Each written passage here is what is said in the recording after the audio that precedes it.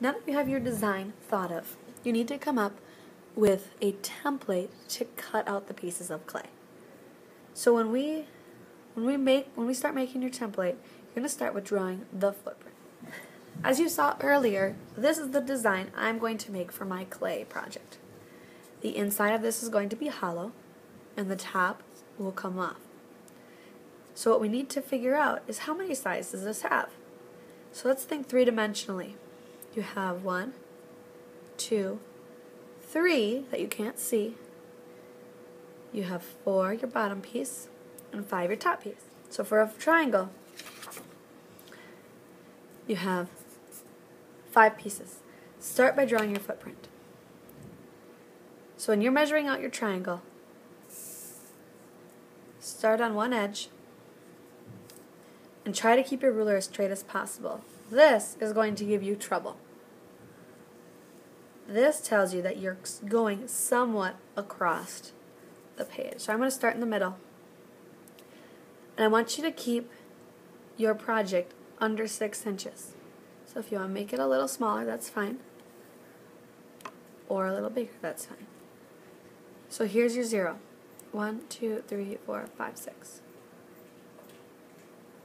That is the center of my footprint. Now since mine's a triangle, I'm going to turn to the side. I'm going to make one line. Then I'm going to come to the edge and look, I have, that's two inches up, so I went one, two inches. So I'm going to come two inches down. One, two. I marked it, line it up. There's the footprint. That is going to be the size. This is the bottom of my clay piece. And the top. So now we're onto the walls. When it comes to the walls, you are going to have the same width. We're going to do these two walls first, the outside. Now I have one, two, three, four, five, six, and almost six and a half. I'd call it, I'm at this line, so I could kind of mark it with my pencil. And I'm going to bring that down to the bottom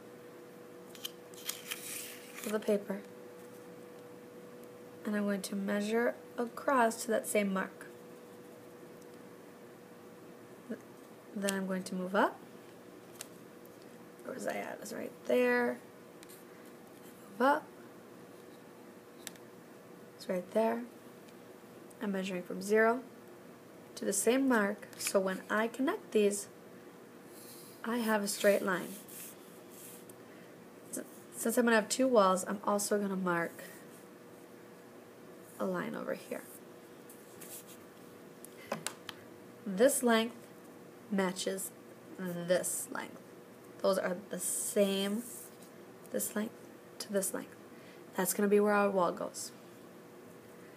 So now you have to decide how tall is this going to be. Now maybe you have a big piece of cake. Maybe you're going to make yours four inches high. I am not. I'm going to go at three and a half inches. So I find my three and a half, mark here, find my three and a half,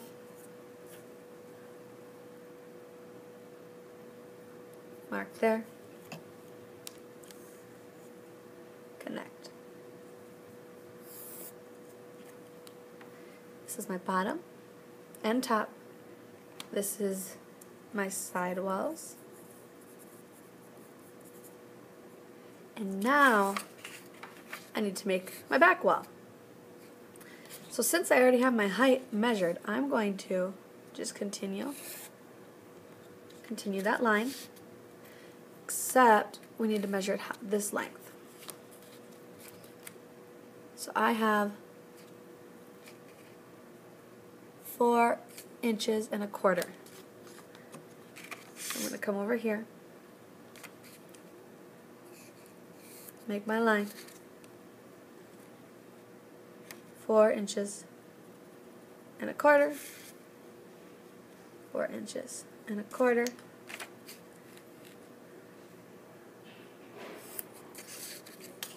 Back wall. I've measured out all my pieces. Time to cut them out.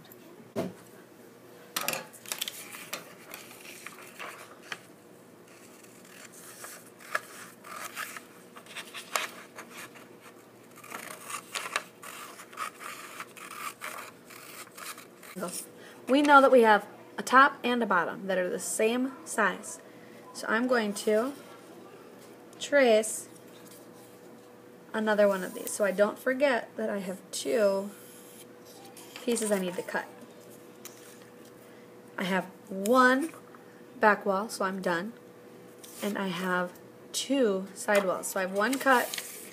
I need to, hope that doesn't fit there. Let's go here. Trace my second sidewall.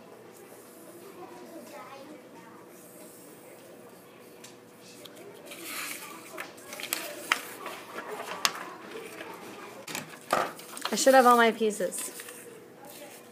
I have the bottom. And I have the top. Now if I take the top off, I have a back wall. Have a side wall.